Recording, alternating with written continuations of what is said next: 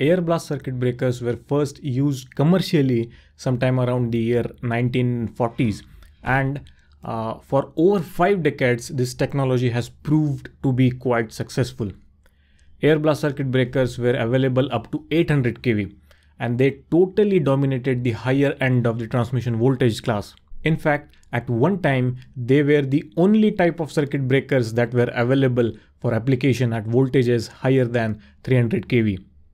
But now, air blast circuit breakers are no more in use. No manufacturer in the world produces it. What happened? Why did the complete world stop using the technology which was quite successful for almost 5 decades? To get the answers, you need to watch the video.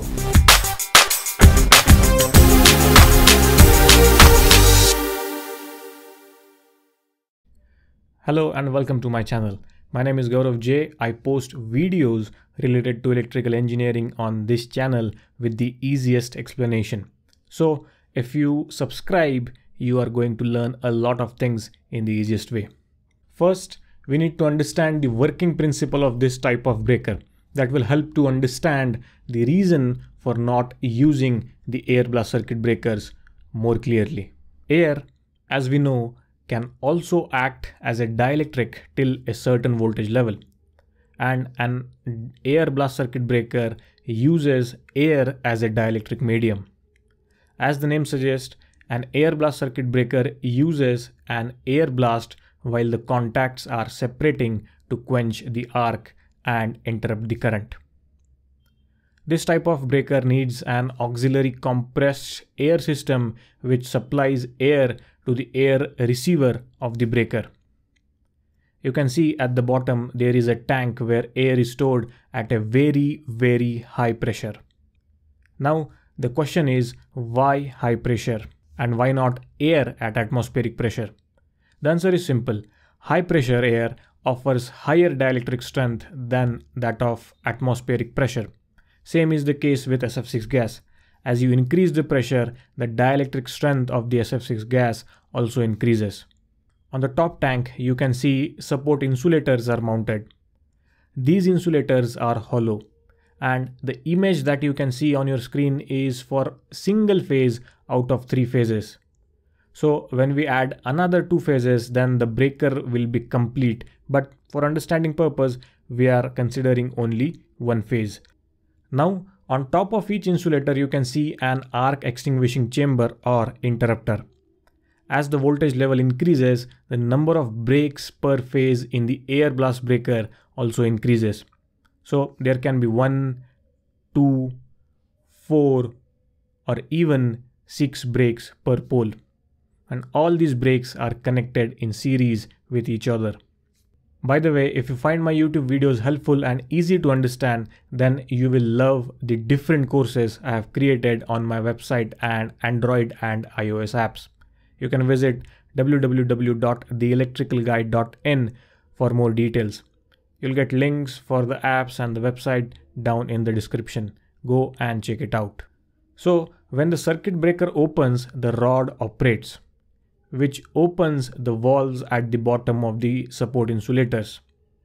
As soon as the valves open, high pressure air passes through the hollow insulator and enters the arc extinguishing chamber or interrupter and creates a blast of air on the arc. The air blast takes away the ionized gases along with it, which supports in extinguishing the arc. The flow of air around the contacts is guided by the nozzles and depending on the direction of airflow in relation with the arc there can be three basic type of air blast circuit breaker. That is first one is axial blast. Now if you see the image the number one indicates the contacts of the breaker. Number two indicates the nozzles. Number three indicates the arc that is stuck between the contacts. And number four indicates the airflow. So this is this is the image of axial blast. Then we also have a radial blast. And the third one is cross blast. Axial and radial blast type breakers were preferred for high and extra high voltage application and cross blast were used for medium voltage. And that's how air blast circuit breaker operates. This type of breakers were used in the industry for almost 5 decades, almost 50 years. So for sure, this type of breakers offered some advantages over the available options.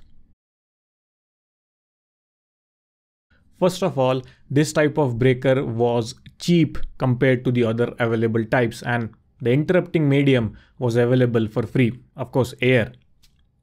This type of breaker was suitable for high speed operation. It used to clear the fault within 2 cycles. Now in AC, one cycle consists of 20 milliseconds. So 2 cycle means 40 milliseconds. So in just 40 milliseconds, air blast breaker used to clear the faults. Air blast circuit breakers were also better in terms of fire hazard compared to the oil circuit breaker. Oil generally catches fire easily. Maintenance also of the air blast circuit breaker was less compared to the other available options and it was also capable of performing frequent operations. Everything has advantages and disadvantages and air blast circuit breaker are no exception. It had some major disadvantages but still it was in use for almost 50 years because there was no better option available. Air blast circuit breakers needed a main and a standby compressor as a backup system to operate. Noise coming out of this type of breaker during the current interruption was so high that noise suppression devices needed to be installed in nearby places, especially if the substation is located near the residential area. The noise uh, was coming due to the discharge of air to the atmosphere, to the open atmosphere. Now these breakers had issues of current chopping. What is current chopping? In some cases, the current is extinguished before its natural current zero position and such situation is called as current chopping. And air blast circuit breakers had issues with such situations. And also it had problems of restriking voltage.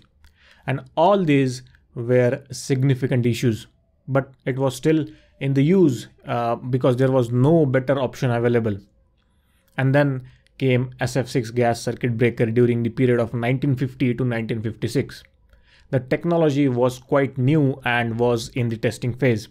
And when the performance of pilot project came and research showed that the SF6 gas is far better dielectric than the air.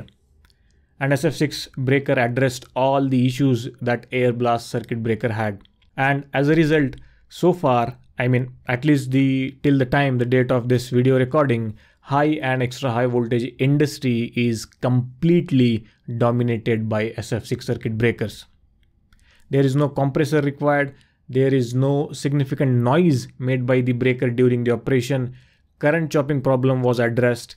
Restrike voltage issue was resolved. And as a result, majority of the utilities shifted to SF6 technology.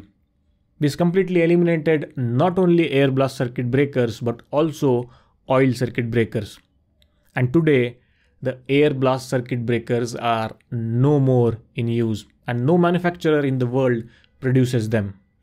The world was completely adapted to the SF6 circuit breaker. Now, in the coming future, the technology may change again. We may see technologies which are environment friendly, uh, we may see dielectrics medium which will have no impact on the environment. What do you think? Will the world will change a circuit breaker technology which will be SF6 gas free? Let me know your thoughts on the same using the comment section below. Also, let me know via comments if you want to know why the world stopped using oil circuit breakers. Comment video on oil CB if I get enough comments, then I'll post a video on oil circuit breaker as well.